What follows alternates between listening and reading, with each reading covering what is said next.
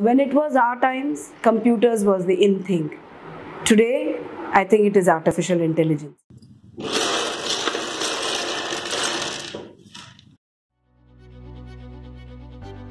I've been teaching and I've been in this field for about 30 35 years, and I've seen different aspects of new curriculum framework that uh, CBSE has brought out.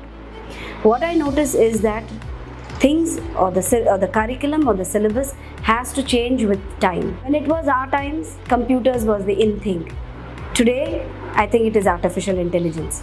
And I think children have to be exposed to the new technology which is prevalent at this time because who knows, as time goes, when they grow up, there will be something furthermore.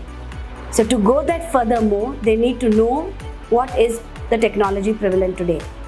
And I think the decision that our school took of uh, including robotics, which was brought by QtPi, was a very, very good decision because we saw that the children enjoyed every class that they attended.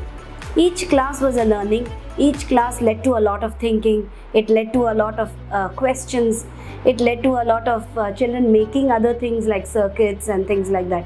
And I think that's the um, uh, answer we get when we see children interested in what they are doing.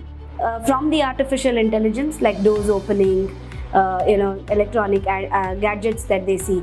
So a lot of questions I'm sure do crop up in their mind and they find answers in this robot robotics class.